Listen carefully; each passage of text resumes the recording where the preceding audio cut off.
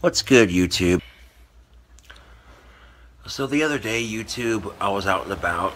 I had my staff with me, running some small errands. And, um, crossing the street, minding my own business. And some turd guzzler drives by in a truck. This dude shouts out the window, fucking tard, and then keeps on driving. And it royally pissed me off for about 10 minutes. I'm like, what, what, what the fuck? It's people's problems. It's bad enough I get people making fun of me on YouTube, but the fact that people do this crap to me in real life, you know, what I'm saying, YouTube? I got crap on, uh, what is this crap on my screen? On my phone screen. Okay, hold on a second. Okay, I got it. But then, as I was closing up my errands, walking around town for the day the other day. Walking back to my apartment, and I almost eat shit on the ice, but I catch myself, you know, and walking on the sidewalk, and thinking out loud, I'm like, ah, oh, that was close, you know.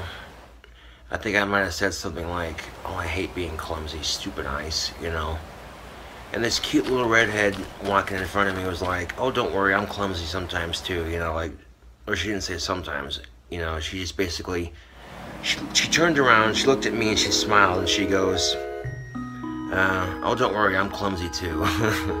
so it's like, okay, you could focus on the bastard that called you a, a mean, offensive name, or you could focus on the cute girl that was sympathizing with you. And, yeah, yeah, the second one's a lot easier to focus on, I'm just saying. Hmm. Don't want to make this video too long, but anyway, this is um, King Cobra JFS with another video. And, um, yeah. And you can guess what I said when that asshole drove by calling me a fucking tard in his pickup truck. I shouted at him, why don't you get out of your car and say to my face, you little pussy-ass bitch. And of course, the person didn't, they just kept on driving. Anyways, thanks for watching YouTube. Catch you all on the flip side.